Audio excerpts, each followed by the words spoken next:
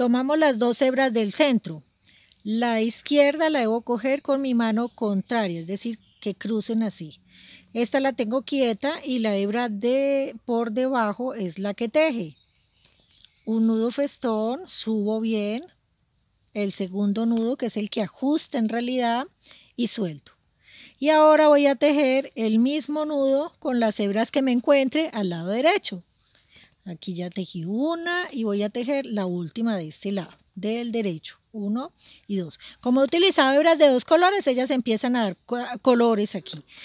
Paso estas hebras para acá, cojo la que quedó en el centro, la más cercana, con mi mano contraria, con la izquierda, y comienzo a tejer todos los hilos que me encuentre por debajo. Si yo a este lado tengo cuatro hebras, cuatro hebras voy a tejer.